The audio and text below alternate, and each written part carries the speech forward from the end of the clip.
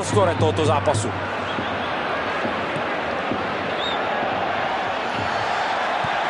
David Villa. Jeho levačka první gol zápasu také nedává. Ještě šance a David Villa. David Villa dává svůj třetí gol v letošní sezóně španělské Primera División a posílá Valencii do vedení. Tou eh, první ránou, kdy David Villa pál levačkou si brankář Arnau ještě poraz, poradil, ale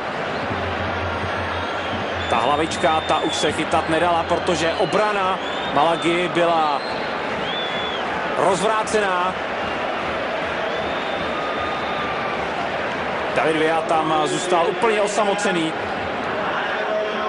A po centru Juana Maty se prosadil hlavou.